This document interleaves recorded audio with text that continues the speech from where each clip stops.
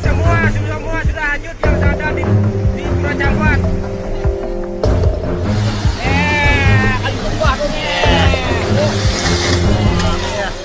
Hai hai sobat anak alam channel di mana pun kalian berada Bagaimana kabarnya? Sehat? Baik Alhamdulillah Enak nih ras Sejumlah jalan di Karangasem tertutup lumpur usai hujan seharian Karangasem, hujan mengguyur Karangasem, Bali seharian Akibatnya, jalanan di sejumlah titik tertutup lumpur dan longsor Dilansir detikbali.com Sabtu 21 Januari 2023 Salah satu jalan yang tertutup lumpur berada di Banjar Dinas Pengawan, Desa Sibetan, Kecamatan Babandem.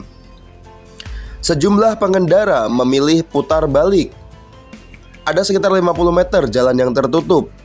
Sangat membahayakan jika dilalui pengendara sepeda motor, kata Perbekel Desa Sibetan 1, Madeberu Suryawan, Jumat 21 Januari 2023. Suryawan berharap bantuan dari pemerintah untuk melakukan penyemprotan jalan.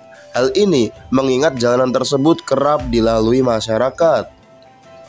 Awalnya, di wilayah tersebut menjadi longsor. Setelah berhasil ditangani BPBD menggunakan alat berat, kini sisa material tersebut bercampur air hujan sehingga menjadi lumpur, kata Suryawan.